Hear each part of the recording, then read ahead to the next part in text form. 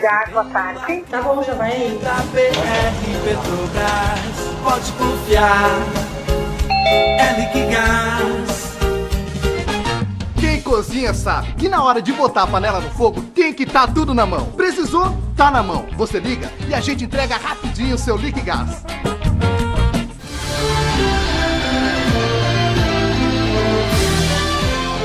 Segundo informações da Brigada Militar, dois indivíduos foram flagrados por vigilantes noturnos tentando arrombar uma escola no centro de Sentinela do Sul na madrugada dessa quarta-feira, 15 de fevereiro.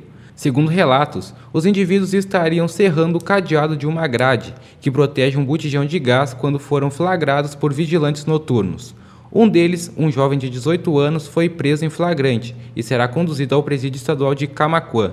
A Brigada Militar efetuou buscas na região à procura do outro indivíduo envolvido no caso, mas até o momento ele não foi encontrado.